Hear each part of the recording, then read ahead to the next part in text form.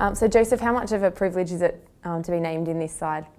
Yeah, it's um, pretty awesome. I never thought I'll get named on this side, but um, yeah, I told my family and then they're pretty happy that I made it in there. Oh, I was a bit, you know, overwhelmed, like by the, you know, all the like players, especially being around the room and that, just being in, like involved in it is, you know, a good privilege.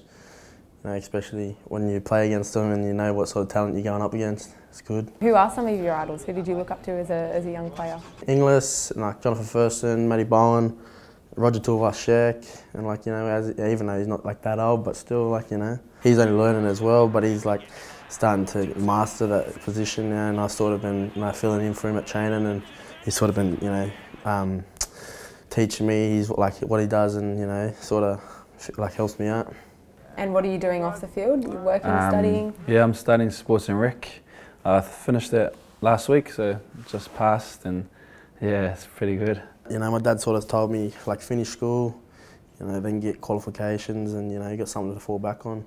But like, I didn't really like know what to, you know, do after I finished schools, and I just sort of went to the career coach, and she sort of just guided me to where, you know, like to where the, I wanted to go. Cert three in sport and rec. yeah, like some of the things were like real hard. Like it, like I thought, you know, be outside, outdoors, sort of thing, and it was just all theory stuff. And I was like, oh yeah, I suppose you know, do the hard yards in here, then you know, have enjoy like the rest of it. Are you happy you've done it now? Like, has it made you a better football player? Has it taken your mind off footy? You know, when you've had your spare time, like, what does it do for you? Oh, it sort of just gives me an op option, you know, when I finish school. So, ah, finish footy, sorry. Yeah, yeah so it'd be good. Like afterwards thinking like, oh, I've got something to fall back on now. I don't have to, you know.